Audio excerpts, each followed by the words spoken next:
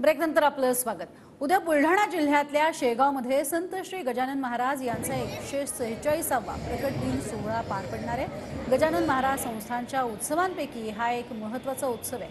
या निमित्तानं शेगाव नगरीला यात्रेचं स्वरूप आले देशभरातनं गजानन महाराज भक्त शेगावमध्ये दाखल होण्यासही सुरुवात झाली आहे. शेकडो दिंड्या देखील प्रकट दिन सोहळ्यानिमित्त शेगाव नगरीमध्ये दाखल झाल्या उत्सवानिमित्तानं गजानन महाराजांच्या मंदिरावरती अतिशय सुंदर आणि आकर्षक अशी विद्युत रोषणाई सुद्धा करण्यात आली आहे. उद्या दुपारी संत गजानन महाराजांचा पालखी सोहळा पार पडणार आहे.